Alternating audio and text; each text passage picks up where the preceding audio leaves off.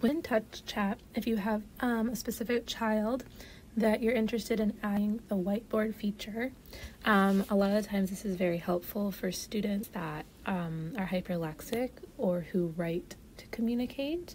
Um, and so sometimes it's hard to also bring a low tech whiteboard around. So it's nice to have it built in. Um, we have a student that really loves to write, and so we really want to build it into his system. So this is how you do that.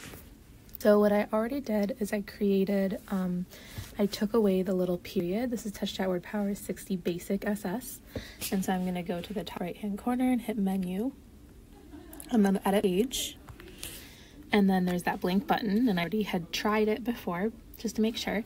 But right here is usually um, a period, which I don't use. So a lot of times if I'm editing the system, I try to only take away something that is not really primary to the core word home page. So you do a press and you create the button, or in this case, you would edit the button if it was still the period, and you would delete all of the messages. So let's say it had something down here, you can slide it and delete, but I still want it to speak the message. I want to say, let's write.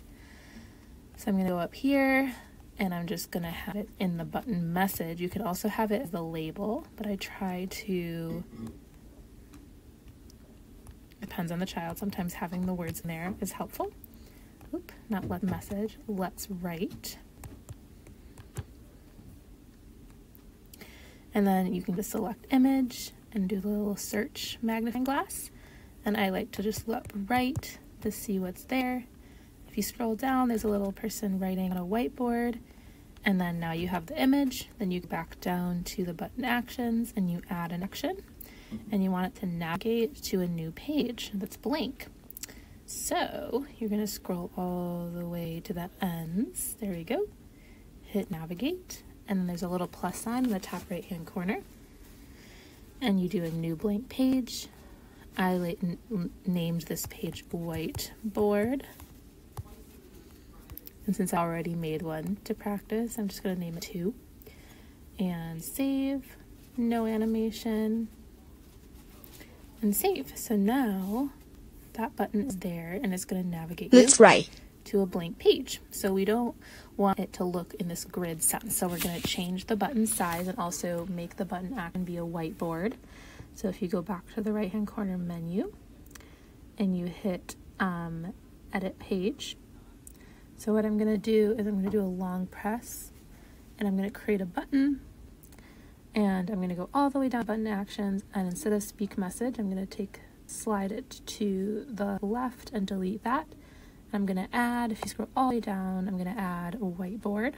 So now this will act as a whiteboard but I want this button to be larger. I also like to change the body color to white unless you have a child that needs a red background or something for vision. This is a typical whiteboard. For this specific student it has to look like a whiteboard. I know it would upset them click save. And so now that button is still really small and it would only function in that one button. So you do a long press and change in size. And you can make it so you have a home button in one area if you want to. So um, but for now I'm just going to create a version that has no area for buttons for now.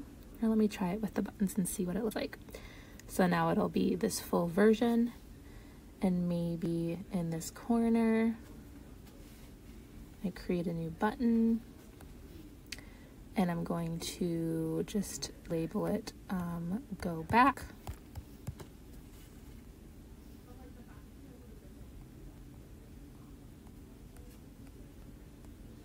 You can also copy a button, I can show you how to do. Um, I just wanted to navigate home. Navigate home or navigate back. Uh, no animation, save, done. So it should look like this.